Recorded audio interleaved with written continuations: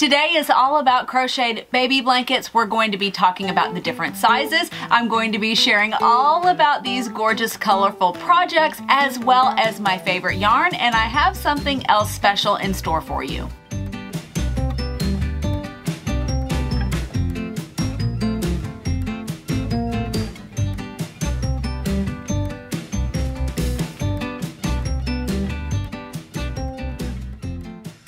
Hi, I'm Elise from the blog LePetitSaintCrochet.com and I just want to let you know that you're going to find links for everything in the description box below. So if you're looking for the pattern or the yarn or the playlist that I'm going to share with you, you'll find it all there. But I'm teaming up with Dana from This Yellow Farmhouse and she has gathered up a group of crafty ladies who are sharing all of our favorite baby crocheted and knitted projects. So make sure to check out the entire playlist because you're going to find a ton of inspiration. Let's first talk about baby blanket sizes. And initially I did a Google search and I found a ton of information and it was a little bit confusing and there were so many different sizes and lengths and widths and all of these things that I just got a little bit kerfuffled in my brain. And finally I found just a great little article from the Spruce Crafts and it laid out three different sizes and I thought this was really perfect perfect. So they said that a preemie size is 26 inches by 34 inches. A newborn size is 30 inches by 34 inches and a toddler size is 36 inches by 44 inches. Now all of those dimensions do not include the border.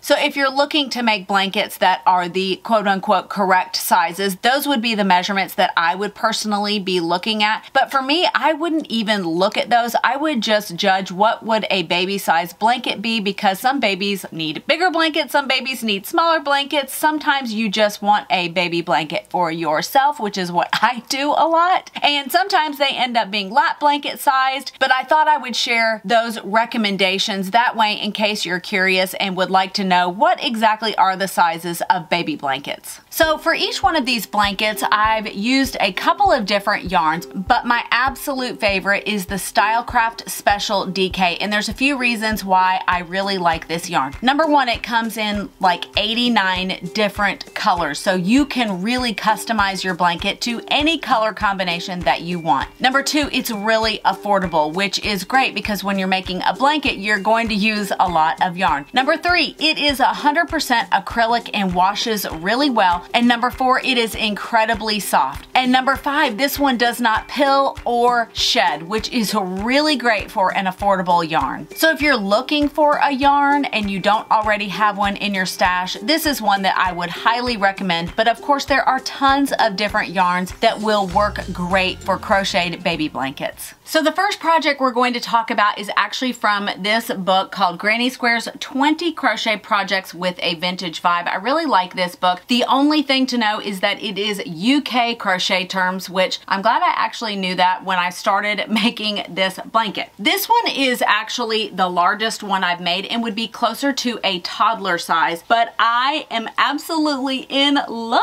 with this project so very much. So here's what happened. I ended up with a ton, and I mean a ton, of Paintbox Wool Mix Aran yarn. I do not recommend it for making a blanket, but I had a ton of it and I wanted to use it up, and most of it was super, super colorful, and I don't use those colors a lot in my amigurumi projects, my crocheted toys. But I wanted to use this yarn up. I am really in a phase of wanting to use up what I have, not buying a lot of extra yarn that I don't need. I want to use what I already have in my stash. So I decided that a blanket was the best thing to use, even though it's a wool mix and it's not practical as a baby blanket at all. But even though I used that yarn, I cannot get over how gorgeous this blanket is. So they're all individual granny squares and they are all three different colors with the white background. And I just had so much fun making this blanket and coming up with the different color combinations. So I would finish one square and I would move on to the next one and look through my stash and pick out the different three colors that I was going to use together. And it was just an absolute joy to make this. And I ended up using the join as you go method, method, which is my favorite method for making granny square blankets because I like joining it as I'm crocheting it because it makes me feel like I'm actually making progress. So it is super warm and it is super, super gorgeous. The thing that I decided to do was instead of using the border that's in the book, I decided to get out my book, The Crocheted Borders from Edie Eckman. I decided I wanted to look through here and pick out something really special. So I found one that it didn't matter what the stitch count was and it was colorful and it was beautiful and it was a way for me to use up more of the yarn. Also, the reason why I picked this one was that it said that it would create a bit of a ruffle on the edge. And let me just tell you, I am a big fan of ruffled edges on blankets. I just think it's really pretty and feminine and it would be perfect for a baby blanket, whether the baby is a boy or a girl. I made a single crochet around the entire blanket in the white, just to make it a nice even edge around the whole thing. And then I followed the pattern with the next one, two, three,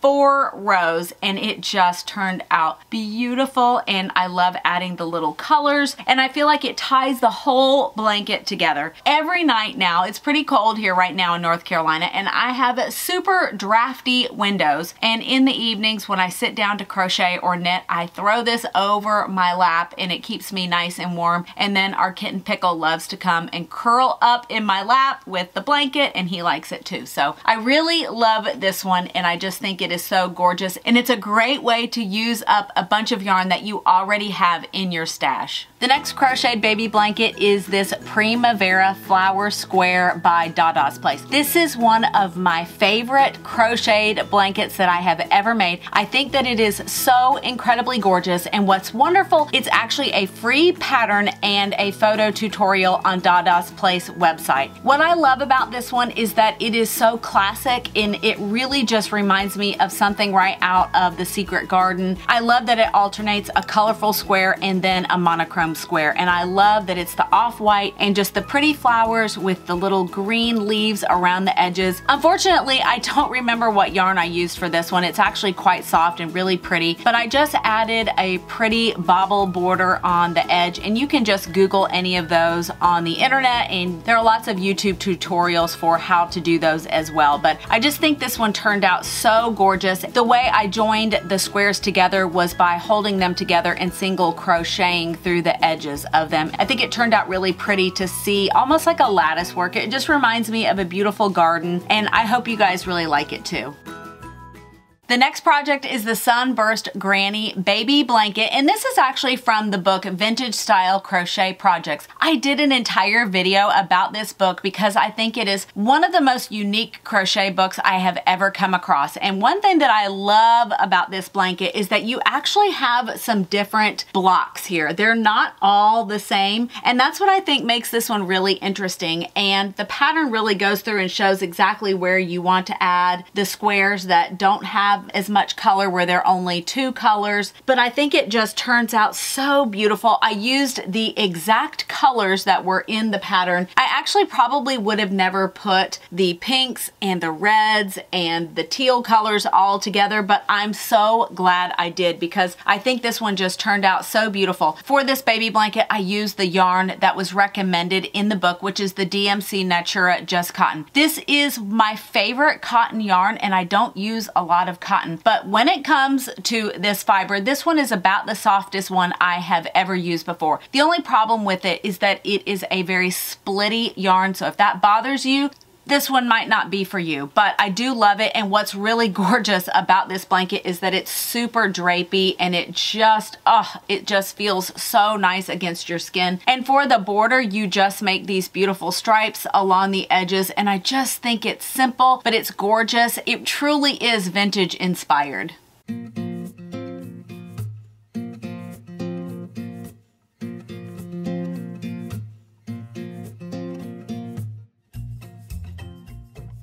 This next blanket is the Granny Goes Large Crocheted Baby Blanket by Sandra Paul by Cherry Heart. I loved, loved, loved making this blanket. Number one, I used the Stylecraft Special DK yarn and it's just such a joy to work with and it's so squishy and soft. But number two, this is the most I don't want to use the word mindless because that almost sounds negative, but it is a meditative project to work on because it's basically just one big old huge granny square. You start in the middle and then you just keep adding rows, adding rows until you get the size that you want. And I just love this one so much because number one, I made this when my son was actually in the hospital last year and I actually did a video all about it as well. And it was something that really kept me calm during a very stressful time. And I made about 90% of this blanket in a week hospital stay because I would just pick it up and I could just do round after round after round after round. And it is just beautiful. I love these colors. And of course I added a ruffle border here because I love a ruffled edge. I think it looks so pretty. And what I love about this blanket is that you could literally use any colors you want. You could match a nursery. You could make one in girl colors, boy colors, gender neutral, whatever you wanted to do. It could go with any baby nursery as well. So I just love this one. And especially if you are newer to crocheting, this would be my recommendation. If you're looking for your very first baby blanket to whip up, this would be the one that I would recommend.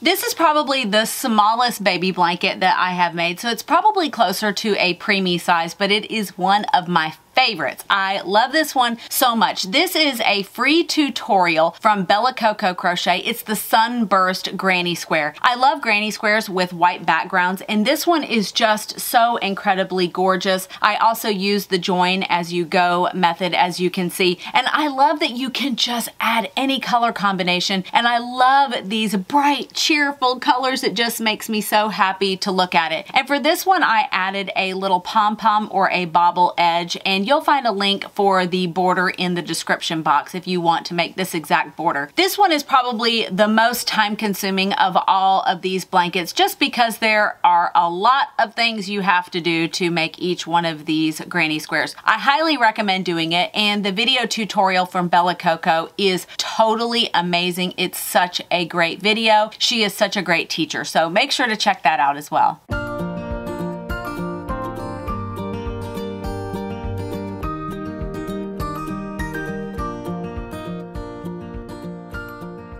And last but certainly not least is the Harmony Square Blanket by Attic 24. I had so much fun working on this gorgeous blanket. And if you don't know Lucy from Attic 24, make sure to check out her blog. She is one of the most talented and prolific crocheted blanket designers that I have ever come across before. She has the most beautiful projects. She has such a gift for combining colors and she has this amazing blog where she shares her life in England and it is just charming and there's just something beautiful about it. But I enjoyed making this project so much. I also used the Stylecraft Special DK for this blanket and I just think it looks so pretty. I have the details for everything about this blanket including the colors in a link in the description box below. I got the color combinations from Heather from the Patchwork Heart. You'll find her on Instagram. She is super talented when it comes to putting gorgeous color combinations together for crocheted blankets and I love all of these grays and pinks and mustard yellows together. I think it is just so, so pretty. And I also added this little pom-pom border because I love that it's got a little bit of a movement. I think a baby would really have fun holding on to these little pom-poms, but I'll leave a link for the tutorial for this border as well.